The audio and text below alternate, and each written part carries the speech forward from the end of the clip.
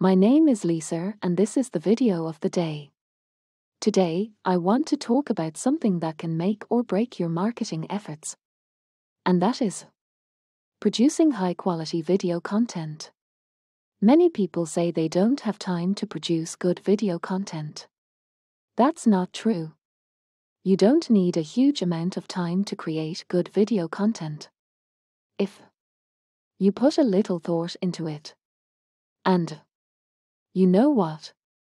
I bet you need more time to create videos which convert.